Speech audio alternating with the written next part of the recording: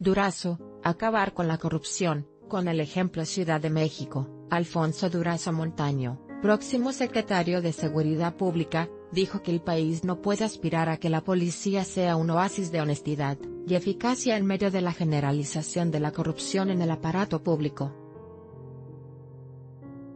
El combate a la corrupción, reiteró, será con el ejemplo de los altos funcionarios de la próxima administración federal, incluyendo al presidente Andrés Manuel López Obrador. Luego de reunirse con el gobernador de Zacatecas, Alejandro Tello Cristerna, y el Grupo de Coordinación Local, GCL, Durazo Montaño afirmó que el combate a la corrupción nos dará autoridad moral y nos permitirá conservar la voluntad política, lo que se traducirá en acciones correspondientes de los cuerpos de seguridad, especialmente de la Policía Federal. Depuración El político añadió que el tema de la depuración en las policías de los tres órdenes de gobierno no ha operado debido a la corrupción que priva en el país. De acuerdo con diversos organismos internacionales, apuntó, el país es uno de los más corruptos del mundo, ya que pasó del lugar 53 en el año 2000 al 135, y esto ha impedido que los cuerpos de seguridad cuenten con mejores elementos.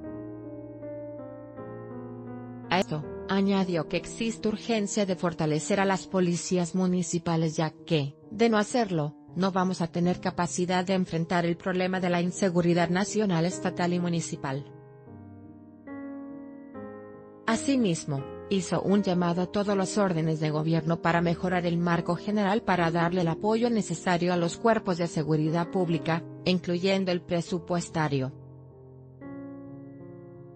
En ese tenor, el próximo secretario de Seguridad dijo que es necesario mejorar las condiciones socioeconómicas de los elementos de seguridad, ya que hay localidades donde los policías ganan menos de 3 mil pesos al mes. El financiero previamente, durante la reunión con el titular del Poder Ejecutivo, Alfonso Durazo adelantó que la próxima administración federal se sumará a los esfuerzos que mantiene el GCL de Zacatecas dado que la comunicación abierta entre los diferentes niveles de gobierno será clave para reducir los delitos de alto impacto. Debo reconocer que aquí los órganos responsables de garantizar seguridad a la ciudadanía están trabajando de manera coordinada y articulada, lo que es una condición imprescindible para hacer eficiente el trabajo y lograr mejores resultados, dijo.